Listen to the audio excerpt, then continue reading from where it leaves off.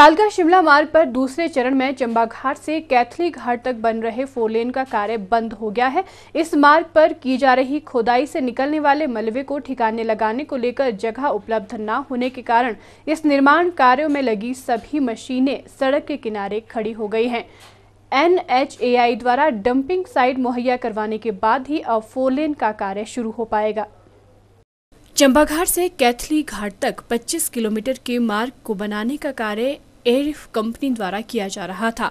फोलिन बनाने का कार्य कंपनी द्वारा आठ माह पहले शुरू किया गया, लेकिन अब निर्माण कार्य के दौरान निकले मलबे को ठिकाने लगाने के लिए जगह न होने के कारण ये कार्य बंद कर दिया गया है। कंपनी के पास अपने लेवल पर शुरू में निर्माण कार्य से निकले मलबे को ठिकाने लगाने के लिए जो जगह उपलब्ध थी, वो जगह मलबे से भर गई है। चंबा घाट से कैथली घाट तक फोलिन निर्माण का कार्य जोरों से चला हुआ था। इस कार्य को शुरू हुए आठ माह का समय हो गया था लेकिन अभी तक एनएचएआई द्वारा मलबे को ठिकाने लगाने को लेकर जगह मुहैया नहीं करवाई गई है।